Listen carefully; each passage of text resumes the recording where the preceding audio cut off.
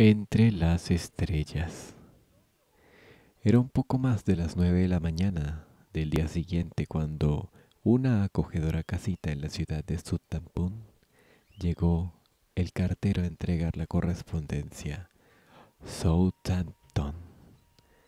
El caballero que le había salido a recibirla en forma rutinaria y no notó nada particular en ella hasta clasificar cuáles le pertenecían a él, cuáles a su hijo, allí en medio de un montón de cartas de amigos, familiares y notificaciones de deudas para ambos. Encontró un sobre con impresiones florales y olor a perfume fino dirigido para su vástago. Mmm, musito pensativo rascándose la barbilla, reconociendo el instante sin necesidad de leer el nombre de la remitente que no era Candy, su adorable y sencilla no era. Muchacho, creo que ahí hay algo especial para ti, dijo el capitán, ingresando en la habitación de Anthony para entregarle la carta junto con otras en sus manos. Ah, sí. Gracias, papá, respondió el joven rubio, recibiéndolas para apenas prestándole atención al asunto que le mencionaba por seguir concentrado en lo que estaba redactando. Creo que es de una admiradora secreta, añadió el capitán Brower con picardía para distraerlo un rato de las tareas escolares en las que pasaba embebido la mayor parte del día. El profesor Garnier, tutor personal de Anthony, seguía radicado en Niza debido a que allí había encontrado el amor y se había comprometido con una chica lugareña. Por eso no impedía que siguiera instruyéndole por correspondencia, asignándole deberes y lecciones, o que fuese menos estricto, pues ante todo continuaba trabajando para la tía abuela y seguía sus órdenes. Anthony, consciente a plenitud de que pronto debía volver al colegio, se esmeraba en cumplir el programa de estudios a cabalidad para poder estar al mismo nivel que sus compañeros del San Pablo. Contaba los días para volver a estar junto a su adorada Candy y sus primos. ¿En serio? ¿Estás seguro que no es decán? Preguntó sonriendo con gracia, levantando un momento la cabeza del escritorio. Al parecer no, opinó el capitán Brower, marchándose entonces de vuelta al comedor de la cocina, donde había dejado su desayuno a medio comer. Saber el resto no le interesaba tanto como que su hijo estuviese bien y no sobreesforzándose de trabajo. Una vez solo, Anthony extrajo el mencionado sobre de los demás con curiosidad, esperanzado que fuera de Candy, aunque solo se habían escrito hacía dos días, pues nunca se cansaba de recibir noticias de ella. La extrañaba tanto. No obstante, al percibir el reconocido aroma que portaba, sintió un escalofrío recorrerle el cuerpo, y a diferencia de su padre supo de quién era sin necesidad de leerlo. Elisa no podía entender cómo seguía siendo tan sinvergüenza al tan sinvergüenza al atreverse a escribirle después de todos los inconvenientes suscitados entre ellos.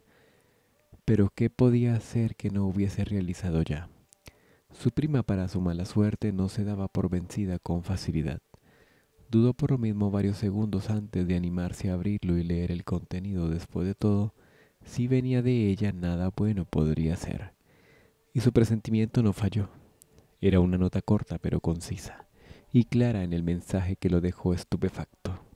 Luego de examinarla, su hermosa mirada se confundió en el vacío.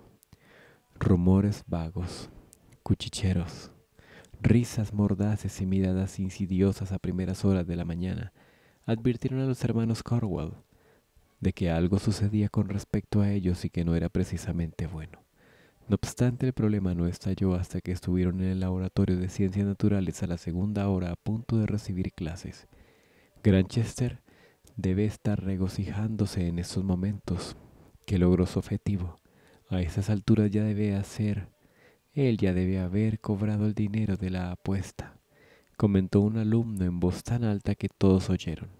Se trataba de uno de los que pugnaban siempre por sobresalir en clase y por lo tanto les tenía cierta envidia a los Corwell, que eran excelentes estudiantes por naturaleza. Hey, Archibald, ¿qué opinas tú al respecto? Hasta ahorita no te has pronunciado, cuando lo normal sería que estuvieses furioso, agregó rozando la mina a punto de explotar. ¿De qué rayos hablas? manifestó Archie, perdiendo la paciencia, volteándose a encararlo, porque se encontraba sentado en un mesón más atrás. Ya estaba harto de lo que fuese que estaba ocasionando habladurías. Estir, quien estaba sentado a su lado, prefirió concentrarse en la observación minuciosa de una hormiga a través del microscopio, hasta que llegara el profesor. Como era de personalidad tranquila, prefería llevar la fiesta en paz y evitar enfrentamientos cuando era posible. Mas los comentarios a su alrededor se intensificaron llegando a preocuparle. La verdad es que lo sentimos mucho por su bella prima, otra víctima más de tan bajas intenciones, continuó el muchacho bromista, acercándose a ellos en tono burlón y dándoles unas palmadas en la espalda, consiguiendo que el impulsivo Archie se levantara de golpe y lo tomara del cuello del uniforme con rabia, exigiéndole una explicación de una vez por todas. Muy bien, Porter, ¿nos vas a decir ahora mismo qué es lo que sabes? amenazó.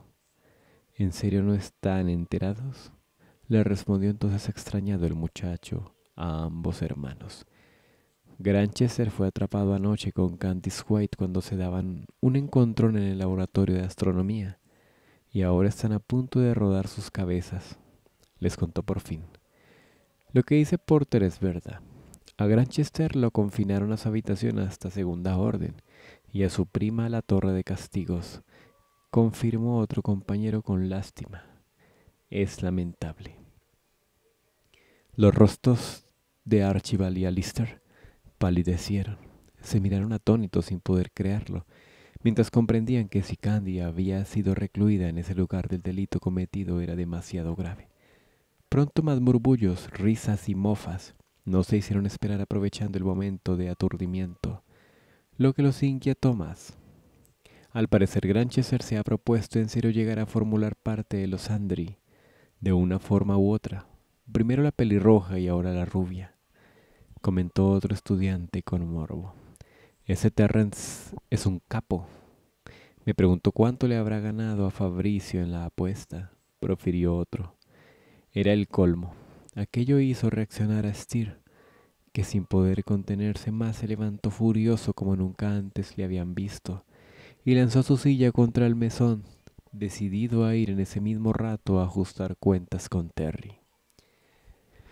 Terry había puesto en marcha sus ideas para tratar de salvar a Candy desde muy temprano. Ni siquiera había dormido a esas horas de la mañana, ya se había acercado a hablar con la hermana Gray en su oficina, faltando a su castigo en pos de negociar inclusive a cambio de su propia expulsión la permanencia de Candy en el colegio, solo que lastimosamente los resultados obtenidos no habían sido nada favorables. La rectora se había negado de manera rotunda a tomar en cuenta su petición hasta consultarle primero a su padre.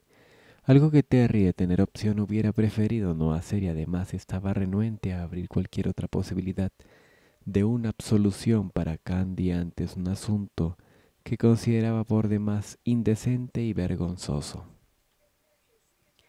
En el fondo Terry comprendía esa parte de su actitud, que él, y Candy hubiesen sido encontrados en pleno delito no jugaba a favor de ellos, y la hermana Grey estaba cumpliendo las obligaciones de su trabajo, al imponer un control para que sucesos así no volviesen a repetirse en un futuro. Sin embargo, por quien temía era por Candy, no podía dejar que se arruinara su futuro, pero mientras tanto se consideraba el miserable responsable de ello.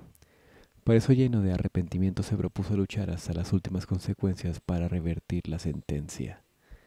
Ofuscado, comenzó a pasearse por su cuarto analizando cuál sería el siguiente paso correcto para dar, sintiéndose un prisionero en su propio colegio debido a las aportaciones caritativas de su padre, gracias a las cuales no se permitía actuar con libertad ni siquiera a su resolución de irse. Para las autoridades estudiantiles, no le resultaba conveniente que el hijo del principal benefactor quisiera marcharse. Ya había sucedido así en otras ocasiones en que, por diversos motivos, le habían encontrado en el delito flagante y aún así disminuían la máxima sanción a solo simples castigos, privilegio que no tenían otros infractores. Aquella vez no era la excepción. Su protesta en el recordatorio de esa ocasión únicamente derivó en otra semana de reclusión. Harto de aquello y de todos en el San Pablo, decidió ponerse a idear nuevas estrategias con concentración. Necesitaba pensar con claridad. El plan A había fallado, pero procedería con el B, que tenía reservado para el peor de los casos. Solicitar la ayuda de su padre esa misma tarde se escaparía de los terrenos del colegio para hablar con él. Le explicaría lo que pasaba en busca de que interviniese a su favor. Sabía que una petición suya era algo a lo que las religiosas difícilmente se negarían, ya fuera por respeto o por conveniencia. Dejaría como todo un cretino niño engreído, que una vez más su padre intercedía por él para salvarle los huesos. Iba a ser algo denigrante para su orgullo, lo veía venir, pero no tenía a quien más recurrir, estaba en el juego, el porvenir de la chica que amaba. Por ello valía la pena arriesgar lo que fuera con tal de verla, con tal de salvarla. Unos fuertes golpes en la puerta, como de alguien que quería lanzar abajo, lo distrajeron a sus cavilaciones. No se sorprendió mucho, pues ya lo esperaba más valiente y dispuesto a enfrentar cualquier cosa. Fue a abrir. Allí confirmando sus sospechas encontró a los hermanos Corwell, furibundos a la espera de explicaciones y para su sorpresa fue Lister, el que demostrando una impetuosidad que casi nadie conocía perdió los estribos propinándole un fuerte golpe en la cara. Tú, desgraciado, ¿qué le hiciste a Candy? De seguro la obligaste, le acusó colérico. Siempre anduviste detrás de ella intentando clavarle los colmillos. Terry sonrió asombrado tocando un extremo de su labio inferior roto. Se dio cuenta que lo había subestimado ya que pocos en el colegio osaban enfrentarse a él. Más sabía que Steer hablaba con fundamento después de haber sido testigo silencioso durante mucho tiempo de sus casi imperceptibles coqueteos con la rubia. Y reconocía su culpabilidad, pero cuando el joven inventor intentó agarrarle por el cuello de la camisa continuando con su reclamo, decidió enfrentarle y lo empujó tan fuerte que fue a dar encima de la cama. Sin embargo, eso no bastó para que éste cesara en lo que tenía que decirle. Vas a responder por esto, le amenazó. ¿Qué vas a hacer para remediarlo? Archie, que hubiese querido actuar primero y ser el que afrontara a Terry como de costumbre, permaneció quieto durante un momento, también impresionado del inusual comportamiento de su hermano y de lo que al parecer sabía y nunca le había contado. Por ello, Decidió invertir, decidió no intervenir hasta enterarse bien de todo el asunto, que le resultaba de por sí de lo más irreal y enredado. Sabía que al rebelde aristócrata le gustaba Candy, pero no que ella le correspondiera abiertamente, puesto que estaba con Anthony. Así que al fin el doctor Jekyll sacó las garras. Espetó Terry con sorna, respondiéndole a Steer. Me da pena en tu caso. Sé que estás tan perdido como yo, pero no soportarlo en silencio y sin esperanza alguna debe ser peor. Estir no profirió nada ante el mordaz comentario, simplemente la mirada detrás de los cristales de sus anteojos, hiperventilando el coraje y teniendo que tragárselo. ¿De qué diablos están hablando? Reclamó entonces Archibald confundido, pero decidiendo abordar el problema en cuestión tratando a diferencia de su hermano de hacerlo de forma civilizada. A la final, ¿qué fue lo que sucedió, Granchester? Porque Candy está encerrada en estos momentos en la torre de castigos. ¿Y qué es lo que tienes tú que ver con... Anda. ¿Qué es lo que tienes tú que ver con lo que anda diciendo todo el mundo? Explícanos porque se dice que es tu culpa. Su voz subió varios decibeles más en la última frase, que fue en sí la que logró llegarle a Terry y afectarle, cayendo sobre él toda la gravedad de su falta. El asunto ya era de conocimiento público. El semblante del inglés cambió a uno de profunda preocupación, lo que le llamó la atención a los dos hermanos. Se puso pálido y trémulo, indicadores de que estaba sufriendo. Nunca le habían visto de esa manera. Candy no tiene la culpa de nada. Tengo que sacarla de esto, dijo para sí mismo, pasándose una mano por el cabello, volviendo a cavilar sobre el mejor modo de proceder para conseguirlo. ¿Entonces confirmas que estabas con ella ayer por la noche en el observatorio? inquirió Archie sin poder creerlo. ¿Desde cuándo ocurre todo esto, Granchester? ¿Desde cuándo se encuentran escondidas? Protestó. Está bien. ¿Quieren saberlo? Sí estábamos juntos ayer, pero nada pasó a mayores, contestó Terry perdiendo los estribos. Ahora si quieren reclamarle a alguien pueden ir también con su dulce primita Elisa y sabrá decirles el motivo por el que maquinó nuestro encuentro sin que nosotros mismos lo supiéramos. Es más, es más ponzoñosa que la viuda negra. Se defendió y procedió a relatar las cosas tal como se habían dado. Nos envió cartas a ambos haciéndose pasar por cada uno de nosotros. Citándonos en el establo, yo pensé que Candy tenía algo importante que decirme. Por eso no dudé en acudir, y además necesitaba verla. Yo no voy a negar lo que siento. ¿De qué sirve cuando todo está por irse al caño? Estoy enamorado de ella. Desde hace mucho. Y ahora que tengo la oportunidad de luchar por su amor, voy a pelearlo, confesó, dejándolos impresionados aunque Steer ya lo intuía. Te engañas a ti mismo. Ella está con Anthony. Le recriminó Archie buscando apoyo en su hermano, pero Alistair solo bajó la mirada sabiendo de que no era el indicado para mencionar nada cuando él también adentro de su corazón guardaba sentimientos por la joven pecosa. Terry esbozó una sonrisa sarcástica muy consciente de ello. Esto es increíble, exclamó entonces Archie contrariado sin saber si golpearle al confesor por desvergonzado o a su hermano por encubrirle las cosas. La verdad no sé cómo vas a arreglar esto, Granchester pero deberás encontrar alguna forma. Sido expulsada y esto no se puede quedar así, profirió por último. Terry sin negar en ningún momento su responsabilidad, no trató de librarse de ella. Las horas le resultaron interminables. Luego de que los hermanos Corwell regresaran a sus clases, cuidadoso de ganarse un castigo y que le dejaran de nuevo solos entre esas cuatro paredes que empezaban a ahogarle.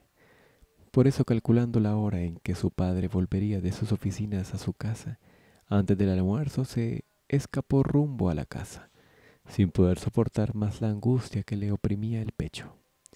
Con la maestría y cuidado de no ser visto de un experto en escapes, sorteó los solitarios pasillos del colegio cuando aún los alumnos se encontraban en clases, hasta llegar a los grandes jardines, donde franqueó los muros llevando consigo la esperanza de que su padre lo comprendiera.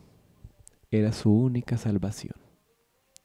Sin embargo, su plan sencillo se vio frustrado por algo imprevisto que al llegar a su mansión entendió después de notar que no se encontraba el coche favorito de su padre estacionado por ningún lado. Para cuando una de las mucamas salió a decirle que Sir Granchester se encontraba de viaje en Escocia y que no volvería hasta dentro de dos semanas. Ya lo sabía. Le invitaron a quedarse a comer, pero se disculpó prefiriendo retirarse porque lo último que quería era tener que soportar la insoportable de su madrastra. Su mundo se caía a pedazos sin que pudiera hacer nada. Se despidió del grupo del personal de la casa que habían salido a verlo sorprendidos por su inesperada visita y aprovechó para pedirles que no dijeran nada al respecto a Mr. Granchester. Una inexplicable sensación se apoderó de él en esos instantes, un presentimiento de que no volvería a verlos ni a ellos ni a su residencia en mucho tiempo. No obstante, agradeciéndoles por todo y sin explicarles el motivo que allí le había llevado, emprendió el camino de vuelta al colegio taciturno y cabizbajo. Vagando por las calles ensimismado regresó a una única resolución en mente. Convencer a Candy de que huyera con él. Esperaría el momento de su partida y tendría su equipaje preparado. Hablaría con ella antes durante la noche como habían hecho la anterior para ponerse de acuerdo. Si aceptaba buscaría la manera de que fueran felices. La pediría en matrimonio, trabajaría con ahínco por ella y le daría un hogar. Le haría feliz. Le hacía tan feliz la idea entre toda su tribulación, de solo pensarlo el sueño de que podrían ser libres e inalcanzables. Sin ya importarle nada, se dirigía con paso incierto por los terrenos del plantel, abstraído por su pesar tan grande que parecía un muerto en vida. Recién sonaba la campana del recreo, y no era conveniente para él que se lo viera violando el castigo que le habían impuesto, pero a esas alturas le daba igual. Nada era tan relevante como el problema que estaba atravesando, donde había comprometido a sus acciones la suerte de la chica que amaba. En esos momentos era tan solo un, cuerpo sin alma a la deriva, cuando escuchó la fina voz de la hermana Margaret dirigiéndose a él. Terres Granchester. Terry. Terres Granchester. Le llamó preocupada.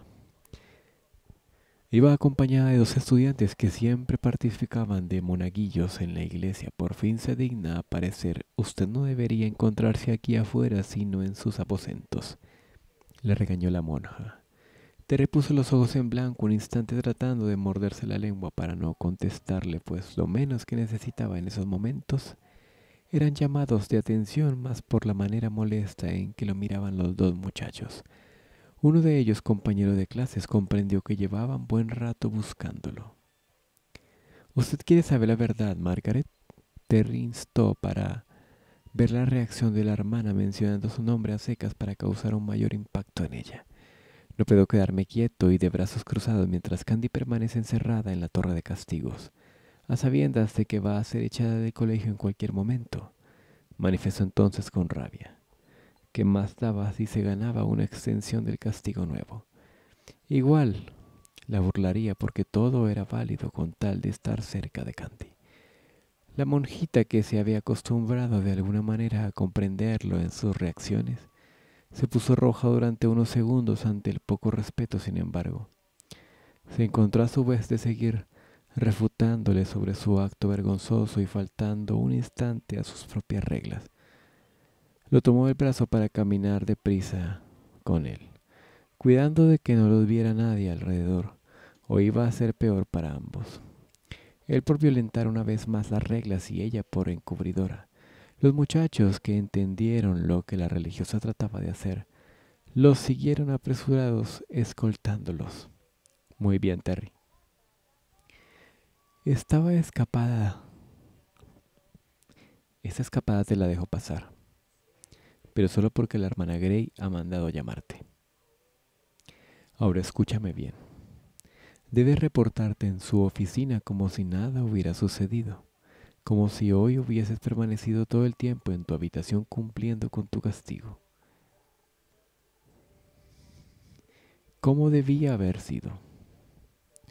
Le recomendó aprovechando para hablar con él en el pasaje de estructura en forma de arco que conducía a los jardines al edificio central, un sitio que en esos momentos estaba desierto. Sea cual sea el motivo por el que decidiste fugarte del colegio esta mañana, no hagas ninguna referencia de ello. Será mejor, agregó. Ahora sígueme. Te revió un atismo de preocupación en los ojos de la joven religiosa y tomé en cuenta sus consejos. Aquello también le hizo pensar que tal vez estaba de parte de Candy y suya. Después de todo, ambos habían tratado con ella en más de una ocasión. Entendió que ambos habían ganado una buena amiga sin darse cuenta. Pese a ello, prefirió abstenerse de preguntar el por qué la rectora le requería de pronto, dejando como sorpresa lo que tuviera que enterarse en su debido momento. Para llegar al rectorado, solo faltaba atravesar el gran patio interior del edificio donde todos los estudiantes a su alrededor se detenían al verlo pasar, empezando a murmurar cosas acerca de él o realizar conjeturas sobre su relación con Candy, las cuales intentó hacerse de oídos sordos, concentrándose en su camino, pero al distinguir a Elisa, cerca de unos pilares, conversando feliz de la vida junto a su grupito, la situación fue distinta. Un incontrolable fuego interior proveniente de la ira contenida empezó a esparcirse en él, obligándola a disminuir su paso hasta parar totalmente sin perderla de vista. Era inconcebible ver que se encontraba de lo más fresca, riendo y vanagloriándose de su frondosa cabellera como siempre mientras él y Candy estaban condenados a causa de su treta. Así que sin medir las consecuencias de lo que iba a hacer, se dirigió hacia ella porque ahora era hora de ajustar cuentas. Elisa por estar tan embebida en su plática, llena de chismes y mofas, sobre el tema del día no se percató de su presencia hasta que lo tuvo frente a ella agarrándola de la muñeca, obligándola a mirarla.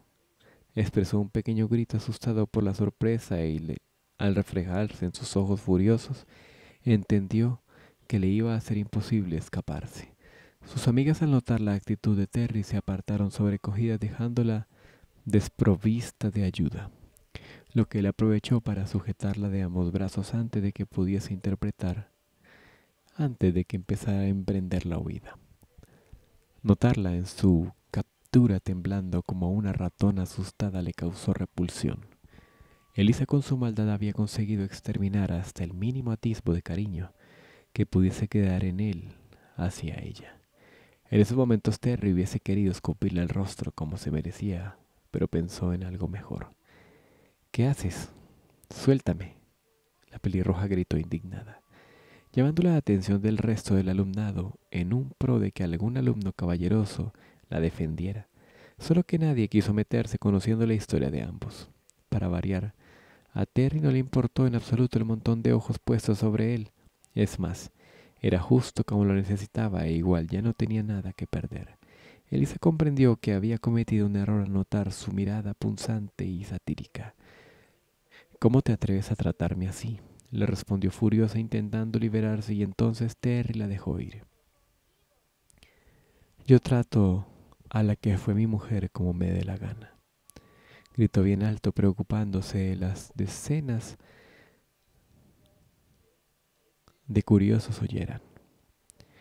Elisa palideció durante un segundo en su agarre y enseguida su rostro se arreboló furioso mientras con nerviosismo intentaba no ver a nadie o notar la conmoción general que se generaba. Luego lo miró a Terry con los ojos muy abiertos como platos, encontrándose con la rabia de él. Le clavó las uñas en las manos para que le soltara, pero el rebelde no se inmutó porque todavía tenía mucho que decir.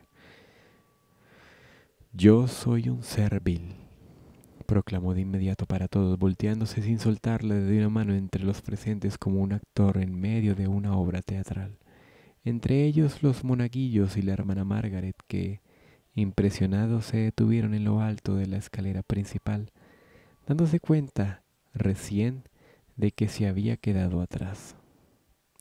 Elisa no sabía cómo reaccionar ante la escena bochornosa que estaba viviendo. No sabía si golpearle, gritar o llorar. Y Terry continuó porque lo más importante era limpiar en algo el honor de Candy, que se encontraba por los suelos. Para quienes me conocen soy un rufián, un bohemio incorregible, y lo reconozco, admitió. Pero quiero que sepan que no toqué a Candy como piensan.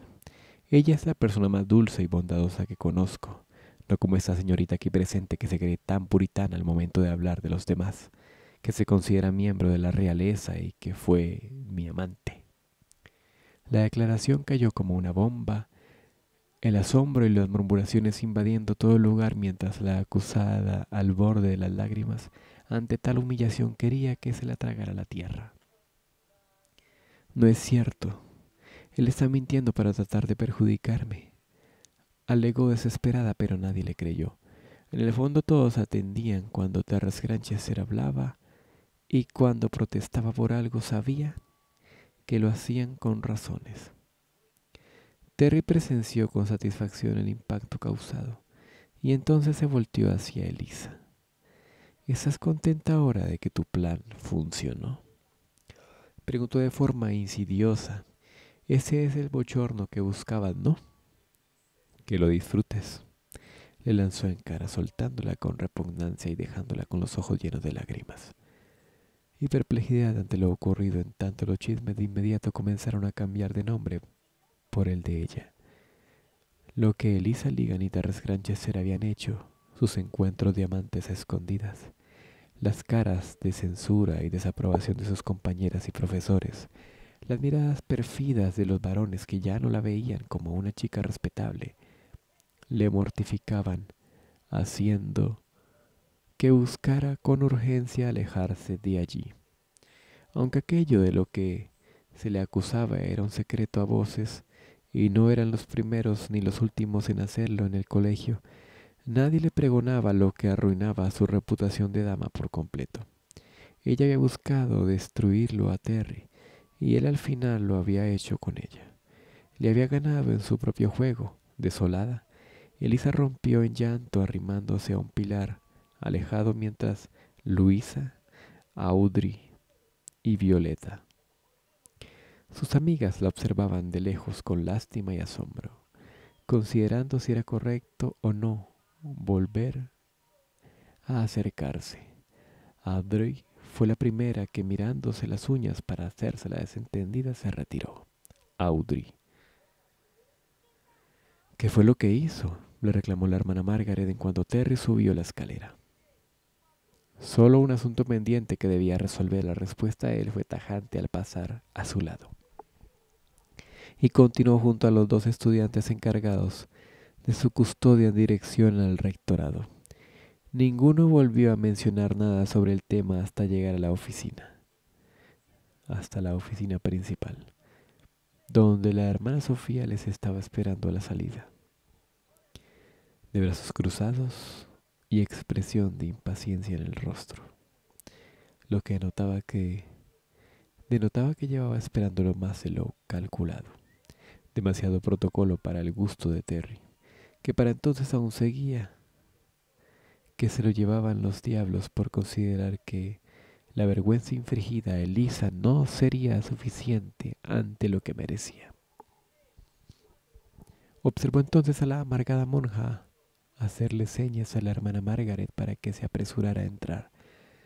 Terry la quedó mirando fijamente mientras se acercaba, pues no le agradó la forma en que se refirió a la dulce monjita, que en cambio sí le caía bien. Mas la hermana Margaret, habiendo cumplido su misión de llevarle allí, se retiró despidiéndose con un movimiento de cabeza educado.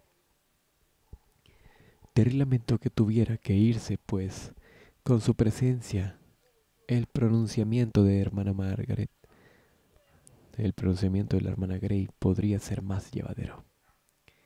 Llegado el momento, la hermana Sofía ingresó primero al despacho para notificar su presencia y no tardó en salir a avisarle que podía entrar. Terry lo hizo movido por la curiosidad ante su comportamiento de la rectora que le parecía por demás inusual. Su perspicacia no le falló al percibir que si se trataba de una causa particular, sin embargo, de todo lo que se le pasó por la mente acerca de lo que podía tratarse, no imaginó a quién iba a encontrarse allí adentro. Frente a la rectora sentada en su escritorio estaba de pie cruzando de brazos su peor enemigo y rival, que esperando a que entrara, no le bajó la mirada. Su accionar irónico en respuesta fue igual, más lo haría.